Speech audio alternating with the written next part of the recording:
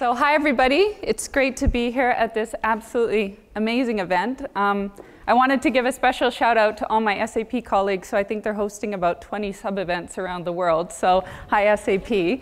Uh, I actually wanted to start out by making a confession, which is I am not a data scientist. I actually have a degree in fine arts. And I was wondering at the, you know, last night, how do I explain to this audience how I started out in fine arts and somehow ended up as a COO for products and innovation at SAP. And then I had Diane Greene, such an amazing leader, tell us that she started as a, a racing sailboats. So thank you, Diane, for showing us that uh, career progression is not always linear. So I'm sure, I mean, some of you may be aware of SAP's data analytics products as well as our SAP HANA in-memory database. But as I'm assuming that most of you um, haven't been shopping for enterprise applications recently, I thought I'd just give you a very quick rundown. I mean, SAP essentially runs the core business processes of hundreds of thousands of businesses around the world. Um, but to put that into perspective, if we were to shut off all the SAP systems on the planet today, um, number one, you would probably never get home from this conference because your airplane would never take off. Um, even worse, your paycheck would never arrive in your bank account. But the absolutely most critical thing is that the world's production of chocolate would literally run to a halt.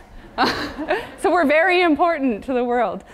Um, essentially, when you think of all of the global business transactions that happen in the world, it's estimated that 76% of them touch an SAP system.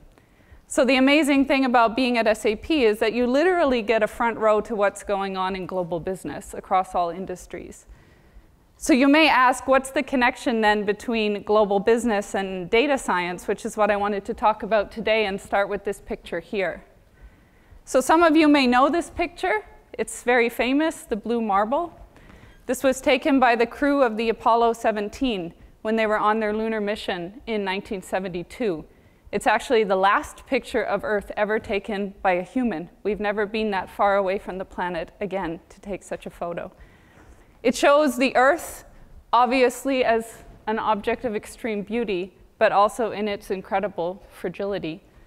Um, and at the time, if you think back to 1972, I mean, many of us in the room weren't even born, and the world was a very different place. The population was about 3.8 billion. The price of oil was around $3.50 a barrel.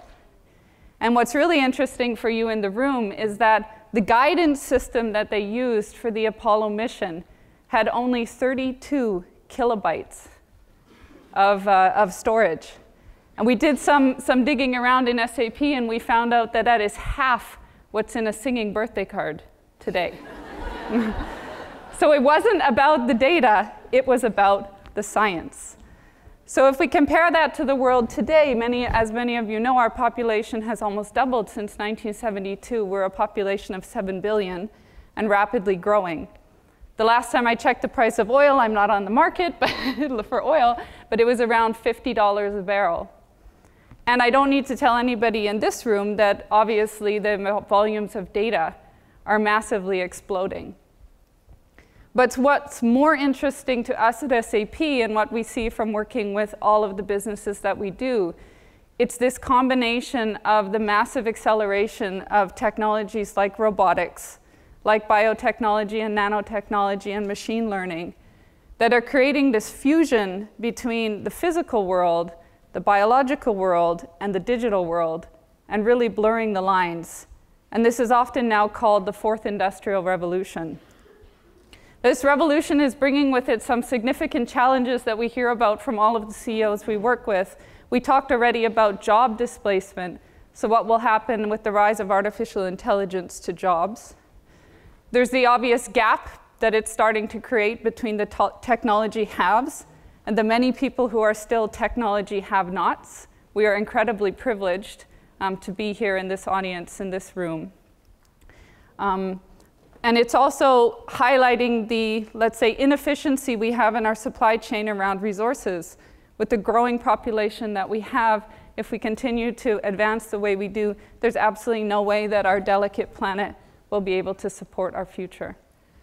But it also brings with it incredible opportunities. And if we do this right and we can navigate through this digital revolution in the right way, we have incredible opportunities to change the world. And I can say from the business leaders that we work with, and if for anybody who recently watched the replays from the World Economic Forum in Davos, business is not sitting still. So business leaders absolutely understand that they have a key role to play. Um, many of them have made strong commitments to the UN Sustainable Development Goals, like SAP. But at the same time, my observation is that business is really at a tipping point. So you have problems and challenges in business and in the world that are of a magnitude, of complexity and speed like business leaders have never ever seen before. So what worked in the past when it comes to directing the future of industry and business is not going to work in the future. And if you think about the way you imagine a traditional boardroom, you imagine these data printouts that come in, right? So you have your pie charts and your Excel sheets, and they're prepared and they're printed, and the executives go through them and they look at them. But at the end of the day, most decisions are still made based on their gut instinct, right? Their ex past experience and the experience of the people around them. But what CEOs are telling us today is that doesn't work anymore, right? The challenges are just too big. So I would say that when it comes to business, data is not the problem. We have lots of data. We have too much data. The data is exploding. What we need is to take the data and apply the creative curiosity and the systematic discipline of science so when I think about data science, it's not about the data, it's about the science. And this is a change for business. If you ask most CEOs about data, they can talk a lot. If you ask them what role does the application of science play in your business, you will probably get a lot of blank stares. Right? So this is why I think the work of data science is so important, because it's literally going to change the way that business leaders look at problems. And this is why all of you are so important to us today. So I wanted to give you a couple of examples. I'm not sure if we have any New Yorkers in the audience. I know Eliza's here. and I know that we have a contingency from New York uh, also watching online. But I live in New York. I've lived there for three years. And I have the absolute pleasure of taking the subway to work every morning. Um, this adds a certain, shall I say, element of unpredictability to my morning. right? You're never quite sure. You never want to hear the message, we are delayed due to train traffic ahead of us. That's every New Yorker's favorite message. So I was very interested to hear about a project that SAP is doing with an Italian train company, Trenitalia. So Trenitalia is the biggest uh, operator of trains in Italy. They move about 2 million people per day. But even more interestingly, they move about 80 million tons of freight per year. So just keeping the trains running is a huge problem for them. If we think about how it was done in the past, something would break, there'd be a train operator, they would call a dispatcher, they'd send out a, uh, a crew to fix the train. It was very reactive and very inefficient. And today, of course, we have sensors on the train and we can do some data analysis, but there's still a heck of a lot of human intervention in the process. So where SAP and Trenitalia are joining is to try to move this into a completely predictive and automated process so that you can take the IT data from our systems around maintenance, combine that with the OT data from the sensors, bring in the sophistication of the science, codify all the rules around what the engineers know, move that into predictive models, and make this much more highly efficient. So you think naturally about how much safer and efficient this can make train travel for Trenitalia, but I think about what will happen when all of you apply those systems to transport systems around the globe. And I think, yes, it's important for the people, but you also think about the tons of freight and how much resource is lost and how much food is spoiled simply because our customers are not able to move it from point A to point B. It's a massive problem. To give you another example, moving into biology, I learned that there's an estimated between 10 million to 100 million species on Earth. But only 1.7 million of them have actually been identified.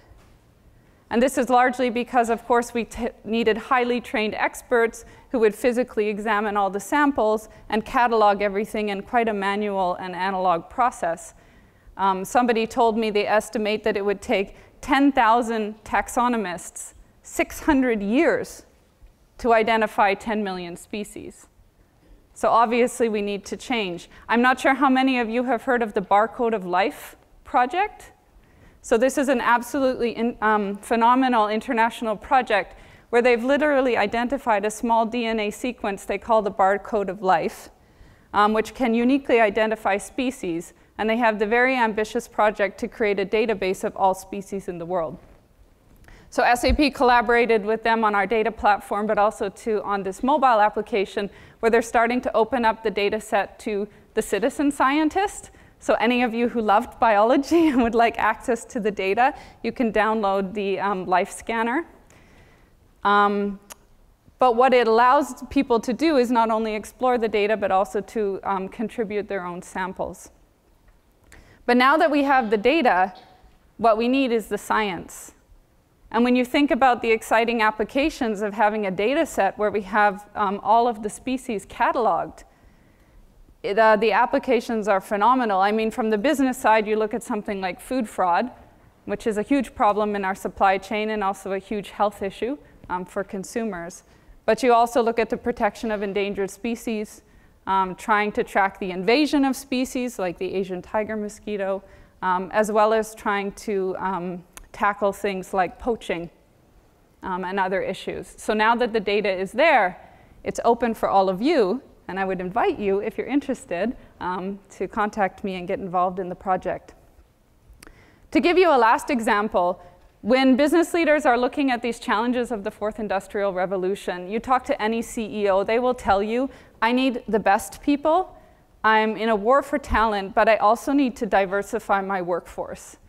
For CEOs, this is an obvious thing. They know um, that we need more perspectives to, to um, how do you say, bring new ideas into these challenges. So companies like SAP are absolutely committed to trying to eliminate bias throughout the workforce processes. But I can tell you from my experience in the office of the CEO, it is incredibly difficult to take a great idea that your leaders have and that people buy into and actually codify that in operational processes within your business. So we've started to work on a project called Business Beyond Bias, where we we're trying to use machine learning to, how do you say, um, um, to uh, eliminate bias automatically through the system all along the HR process. So this can be everything from resume screening with recruiters to salary and compensation to promotions. So this is a close collaboration that we're doing with our customers to try to eliminate bias through the HR systems. So in closing, I would ask, um, why do we need more women in data science? And I think you heard some great answers this morning, and there's many perspectives. But when I look about, at it from a big picture, I would say we've seen three industrial revolutions come and go. And while women have played a very important role in many of these revolutions, undoubtedly they've been shaped by men. We are now in the middle of the fourth industrial revolution. And the choices that we make right now will really change the future of our planet. We need as many diverse um, ideas, experiences, and perspectives to make sure this moves in the right direction. And that's why I'm very passionate about this cause, and we absolutely need all of you. Thank you very much.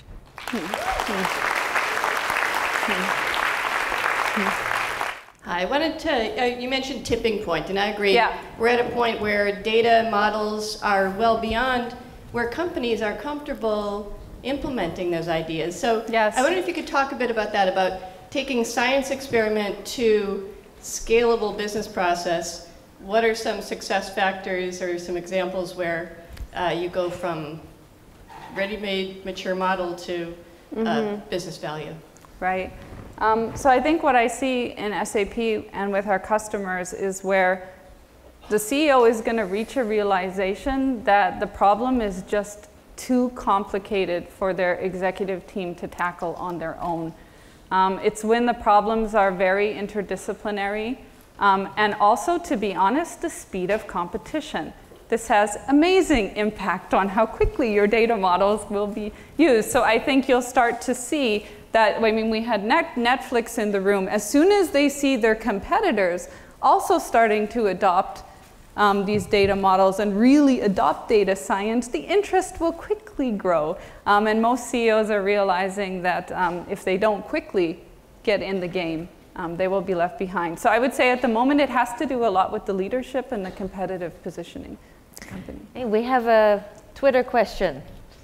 Um, we have a question from WiDS Calgary. Um, they're asking about if someone's new to data science and wants to explore the field, where would you suggest they get started? Do they need to go for another degree or some sort of training, or how did you sort of get into data science from outside? Well, of course, they should get a degree in fine arts. That's good. um, I would give a shout out to U of C. I'm actually from University of Alberta, so hello, Calgary. Um, so like I said, I'm not a data scientist, and, um, but I think what I do find fascinating is this discussion around domain expertise. I think, don't think about it too narrowly. I mean, if you start with a degree in a specific domain and then can augment that with data science, you're going to have a leg up over someone who just does the math side of it. So anything you can do to also bring, to be honest, some business know-how so that you actually understand how a business would apply what you do, as well as some domain expertise together with the math. To me, those are going to be the people who are the most employable, or at least the most interesting on an executive level. Right. We have uh, time for one more question.